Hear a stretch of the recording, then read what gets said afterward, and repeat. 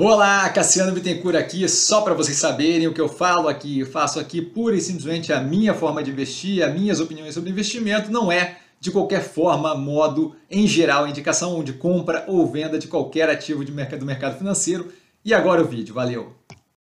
Olá, Cassiano Bittencourt, pelo Visão Estrategista, neste momento para comentar a Zemp, a operação de fast food, dona do Burger King Popeyes aqui no Brasil, importante notar isso, tá? A gente é franqueado Master aqui no Brasil, agora chamada de Zemp, antes era Burger King, tá? Trimestre pressionado, tá casado com o momento econômico, observação.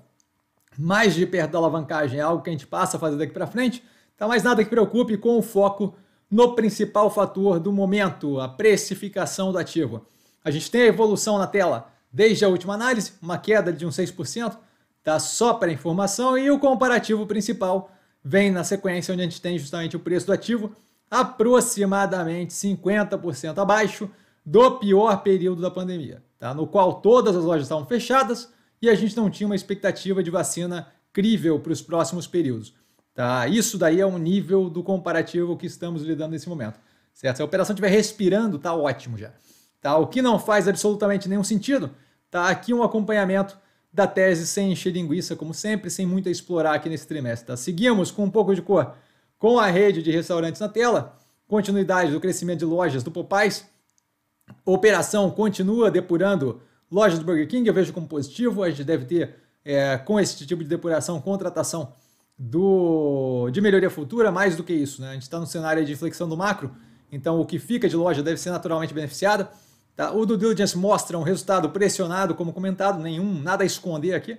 Tá? Receita líquida, receita operacional líquida com um crescimento de 5,8% year on year versus o mesmo período no passado. Os últimos 12 meses, 14% de crescimento. Então, um pouco estagnado aí. Tá? Aqui é bem visto ali pelo same store sales, pelo vendas nas mesmas lojas, tá? que fica mais ameno. É estagnado ali no Burger King, um pouco melhor no caso do Popeyes, mais nada que dê para galhardear como, uh, que incrível. Tá? Para dar mais cor, a gente tem a abertura das vendas no Burger King e no Popeyes Louisiana Kitchen. Para o pause na tela, Ed Chicken, tá? com abertura de margens e melhoria em ambas, um pouco melhor a melhoria, no, um pouco menor a melhoria no Popeyes, tá? mas ainda assim melhoria nas margens brutas que eu falo. Tá? O EBITDA ajustado com queda de 2,9% versus o mesmo período no passado, o tirando o FRS com queda de 8,2% versus o mesmo período no passado, Tá? Com piora nas margens, a gente tem uma margem de 13,2% versus 14,3% no mesmo período no passado. Tirando IFRS, a margem é de 6,8% versus 7,8% no mesmo período no passado, dobrando o prejuízo líquido no período em questão, em grande parte pelo custo de carregamento da dívida, que é algo que a gente conhece, estamos aí no auge, caindo agora, né? mas estivemos aí no auge dos juros deste período no Brasil em 13,75, como colocado pela Selic. Tá? Como colocado, um trimestre pressionado, nada que justifique vagamente a precificação do ativo em 50% mais barato do que no período apocalíptico da pandemia. Tá? Que diga de passagem, a precificação naquele período já era uma precificação exageradamente negativa. Tá? O fluxo de caixa operacional, geração de caixa operacional no trimestre robusto, a abertura na tela, um delta daquela devolução que a gente falou que ia ter do capital de giro, a dinâmica de custos um pouco mais mesclada na tela, a gente tem a continuidade da melhoria do custo de mercadoria vendida como percentual da receita líquida, o que eu venho comentando há tempos, tá? o aumento da despesa operacional de vendas, em parte por reclassificação, como a gente comentou, e dá para ver nos dois casos, né? contingência trabalhista passa de, de gerais administrativas para vendas, para essa rubrica, tá? o DNA com redução versus mesmo período no passado, maiores detalhes abaixo, ainda assim a dinâmica como um todo, um delta negativo. Tá? A alavancagem não preocupa, mas vale observar mais de perto a partir daqui. Tá? A gente tem uma crescente contínua desde o quarto trimestre. Tá? No quarto trimestre a gente teve 1,5 vezes dívida líquida sobre o EBITDA, passando para 1,9 no trimestre passado, passando para 2,2 nesse trimestre. Então assim, a gente tem, começa a observar aqui para justamente garantir que não tenha é, nada desandando aqui. Tá? A gente teve, inclusive, é, é, enquanto o financeiro aqui está um pouco mais pressionado, a gente teve ganho de market share no período, é, que eu até vou botar aqui na tela agora, foi um pouco descasado aqui, mas vou botar aqui na tela. É, quando a gente olha ali o Burger King, por exemplo, mesmo operação maturada, a gente tem um ganho de market share no período que é bem positivo. Tá? A inflexão do macro contrata melhoria nesse quesito aqui de alavancagem, mas não pode começar a desandar. Tá? É algo que a gente observa. Tá? Peço desculpa pela confusão aqui.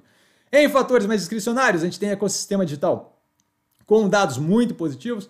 Na tela, para o pause, a gente faz o acompanhamento todo trimestre. Já temos aí 28 lojas com atendimento 100% digital.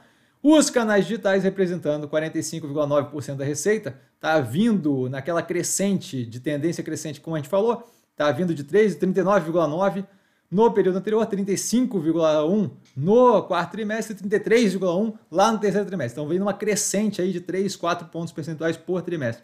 Confirmando que a gente tem uma tendência, especialmente por totem, tá, que deve reduzir o custo de operação de lojas no médio e longo prazo. A gente viu ali que atingiu 28, né? E evolução também do app e do delivery. Muito positivo. Finalizando, a operação continua em cenário pressionado, atuando para ganho de eficiência com depuração de lojas, dedução do modelo Dotem, tá? com espaço para expansão, especialmente no Popais. O grande ponto aqui é que nada justifica a precificação, é simples assim.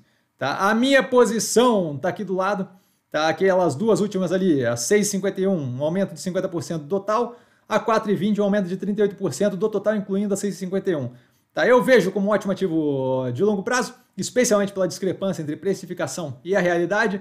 Deve ser aproveitada a inflexão do macro, continuidade da volta à normalidade, tá? cada vez mais aí o cenário de terra arrasada com uma quantidade considerável de fast foods aí indo para o buraco, os de menor porte, né, que não aguentaram esse período, evolução forçada do Omni, que a gente vê afetando cada vez mais as vendas de canais digitais, evolução dos novos canais demonstrada, especialmente na questão do app e delivery, que não era, uma, era uma, não era algo comum para a gente antes, pré-pandemia, tá tão forte. Posicionamento no value for money é algo positivo também, posicionamento naquele é, faixa de restaurante custo-benefício para entretenimento.